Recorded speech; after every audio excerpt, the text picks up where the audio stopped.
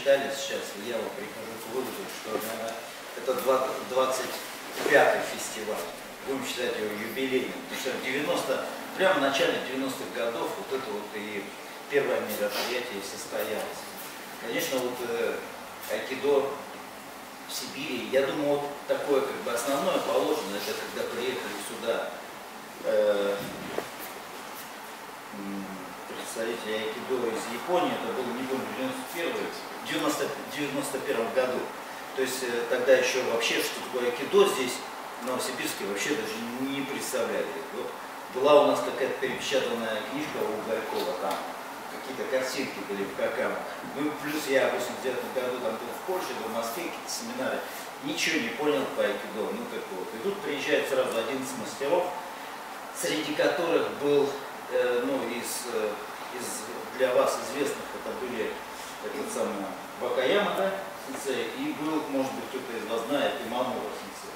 Все остальные сейчас уже, наверное, их имена ничего не говорят. Вот у них были от первого и до шестого дана. Их был уровень. Вот. Тогда все занимались карате, но тем не менее делегация японцев приехала, всех распределили, и они проводили тренировки, были общие тренировки, плюс они как-то это самое. Я вот закрепили за это самое, это да, Масаки Сан, третий дан у него был по айкидо, мы с ним выезжали каждое утро в 6 утра в этот Э, в Зельцовский парк. Он заставлял кувыркаться по асфальту, там показывал какие-то это. И вот самое интересное, вот у него, что я запомнил, ничего не понял, но вот он, как эти ниндзя, показывал вот эти вот все переплетения пальцев, всегда говорил, что это очень важно. Зарисовать не получилось, а видео тогда, ну как бы видеокамер тогда не было. Ну, это жалею. Итак, значит, смотрите, вот это вот был первый приезд, он как бы а, ознаменовал вот эту, как бы, скажем так, эру айкидо Э, в Японии.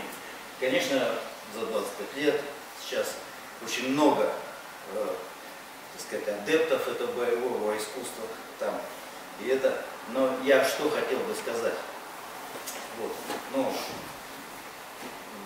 тоже был в числе, э, ну, был, и можно сказать, я остаюсь, потому что я не выходил из их, это самое. В 2004 году получил третий дан по айкидо, сдавал экзамен. Но потом мои учителя умерли. Вот. Ну и, значит, соответственно, э, такой вот это. Но все время э, поддерживал такие и отношения теплые и с вами, с вашими учителями.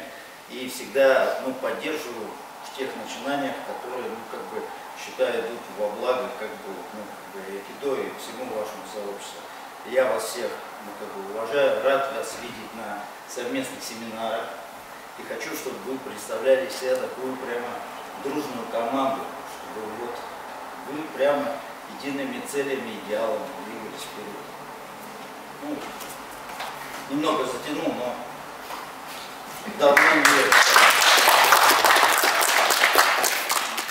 Давайте с вами поговорим о том, что это самое вот э, наш общий знакомый, которого вы хорошо знаете, и как бы это самое, наш э, учитель, э, вот, с Николаем Леонидовичем, да, Сата Сенсей, он сюда приезжал уже очень ну, давно, и он занимается и айкидо, и дайдарю, и у него получается, он работает, скажем так, это не тренировка, а он все время называет это изучение. То есть, ну, как бы мы изучаем с вами айкидо, изучаем способы воздействия, скажем так, на противника.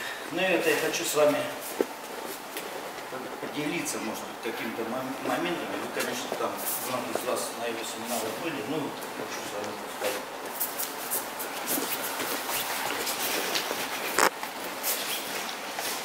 Давайте начнем с раза, да? Значит, первое, э, ну, э, всеми известная Пукуху, да? Значит, смысл здесь э, в чем, вот как я вам просто предлагаю вариант, вы должны абстрагироваться от этих захватов и научить через захваты работать именно с э, Не смотрите на эти точки, если вы будете только на них совершенствовать, ну, пытаться там повернуть их, то у вас борьба перейдет в физическую плоскость. смотрите на его плечи. То есть установите как бы с ним связь, смотрите на его плечи. Теперь вам нужно расслабиться. Вы расслабляетесь, все он расслабляется. Я из занятий понял, что самое трудное это научиться расслабляться. Да? Еще раз. То есть чуть-чуть вошли установили связь. А? Давайте. А долго не будет, ну, и меняется взаимодействие. Оно появляется только тогда, когда вы, чтобы вот эту точку сдвинуть, вы сначала устанавливаете связь, когда эта связь так напрямую, потом вы можете ее двигать. А вот до этого момента вы можете вот здесь что угодно делать, вот на него это не влияет. Соответственно, когда вы работаете, я посмотрел, некоторые из вас пытаются это делать на рывок. Ну, то есть, если сильно держит, ну, понятно, вы, вы начинаете там, вот, но если не получится, вы должны научиться это делать как бы медленно. Вот входите, понятно, что, допустим, смысл нашей техники заключается в том, что если у вас маленький опыт, на ком-то получается, но есть большое людей, на которых не получается. Но с помощью вашего опыта вы увеличиваете количество людей, на которых вы можете воздействовать. Да? Итак, вы вошли, теперь вам нужно плечи, смотрите, вы загружаете. То есть не эту точку, когда вы сюда давите, видите, вот такое происходит. На плечи. Не будет.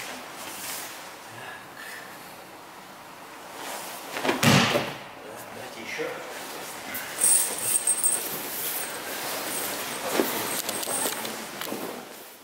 Одно. То есть вы сейчас должны как бы попробовать его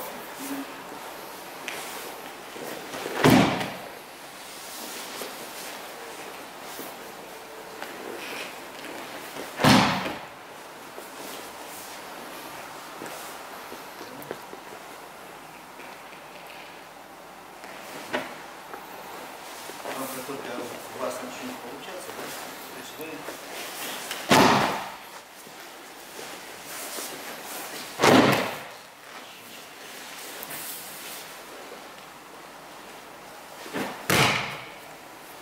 И такое-то вот кокю, насколько я понимаю, кокю, это как э, читал, что единственное упражнение, которое можно делать на вдохе. Да? На вдохе из фехтования все это пришло. Как только вы почувствовали, что у вас напрягаются мышцы, вот вы делаете, вы не, не можете это сделать на вдохе. За счет вот этого. Значит, это уже, ну, насколько я понимаю, не то. Вы должны вот это делать, э, чтобы ваш, даже если он держит, тембр голоса не менялся. Это все.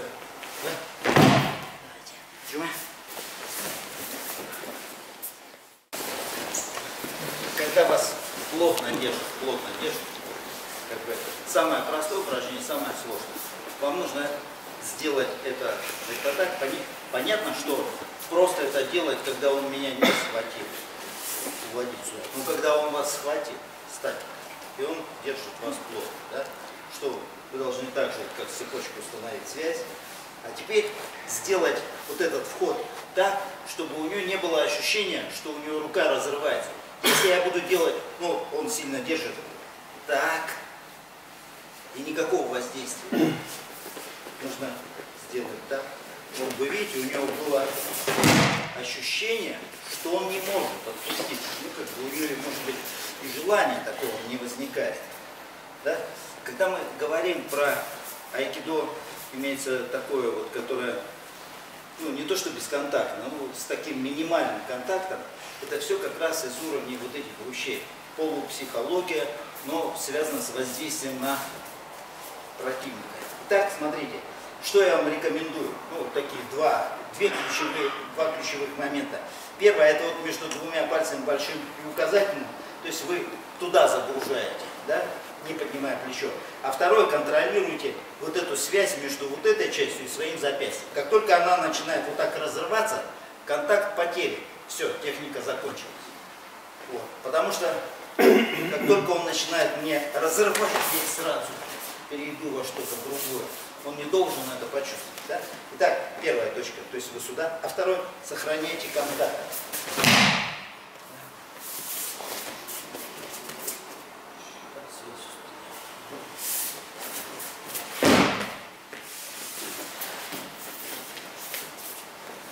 старайтесь это как бы медленно делать. И отслеживайте все пункты, начиная с самого начала и до этого.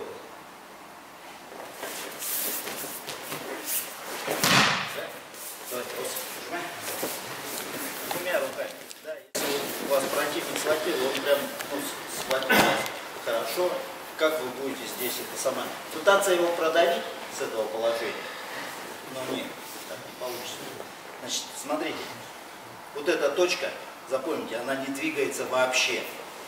Вообще не двигается. Вы сейчас вот точно так же, как с одной рукой, вот сюда будете воздействовать, да? И вторую вообще не берите во внимание, ее нет, это только кажущееся. Да, то есть, но как только вы начнете вот на эту руку давить, а эту тянуть сюда, у вас весь эффект пропадет, то есть не будет техники. Вот эта точка неподвижная. Сейчас входите только вот по той же схеме, как вы видите. Вот сейчас она все уже не рабочая, а сейчас вы приводите в действие вот эту руку.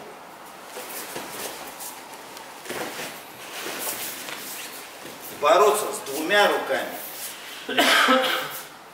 вы вот только с этой рукой, да? Вот это для вас сейчас не существует. То есть вы вот сюда. А теперь начинаете вот эту руку. И вы, вот куда она, куда она направлена, эта рука, вы в то, вот туда, вот она сюда смотрит, да? Вот сюда ею и двигаете.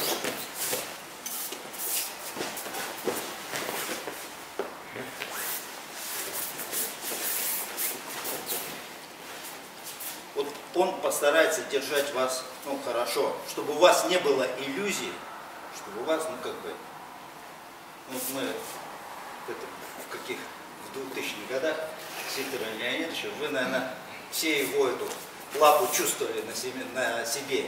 И вот были у нас такие эти самые состояния, когда вот у меня тоже, знаете, нездоровая рука, ну, имеется в виду в плане маленькая.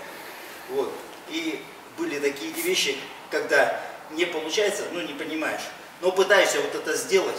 И ощущение было такое, как эту, зажали руку в тиске, и ты пытаешься ее сломать своим усилием. Понимаете? Ну вот нет, не за счет этого все делается, да? И так вот он держит, да, вот эту точку. То есть это на месте. Сюда. А теперь вот эта рука полностью сейчас отключена, она не работает. А сейчас вы идете. Давайте.